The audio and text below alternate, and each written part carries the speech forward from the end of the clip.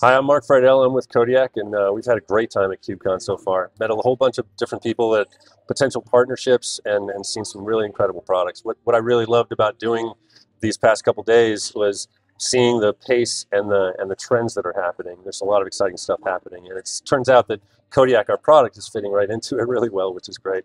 Um, so we've been taking the SDLC game and marrying it up with the infrastructure as code game and building a, an opportunity to put repeatable infrastructure in the hands of the release team. So the various various different parts of the release team, starting with the SRE, talking with, and who can coordinate then with QA, with project management, with the app team, with the infrastructure team, et cetera, et cetera.